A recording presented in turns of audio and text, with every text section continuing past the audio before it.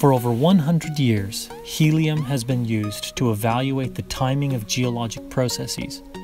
In fact, it was the first isotopic system applied to dating rocks. The decay of uranium and thorium to lead produces helium as a byproduct. Over time, helium accumulates in uranium and thorium bearing minerals.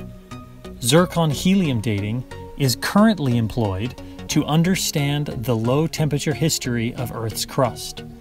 Despite the utility of this method, we have not, until this study, been able to actually see how helium is distributed within minerals.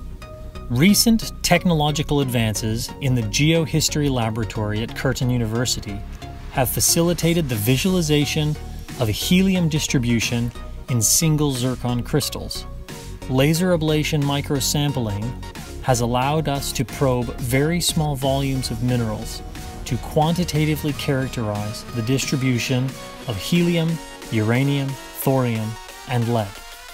These data have allowed the production of chemical maps that track the spatial variation of helium gas. In some cases, however, Helium has escaped from domains suffering from significant radiation damage. In addition, we have found that fluid inclusions can trap extremely high amounts of helium and impede its diffusion.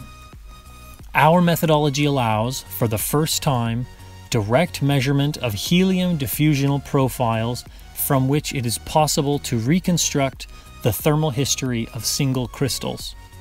Finally, the ability now to visualize the distribution of helium will allow more precise characterization of geologic processes such as mountain building, orogenesis, development of petroleum resources, earthquakes, volcanic eruptions, and the interaction between tectonics, erosion, and climate.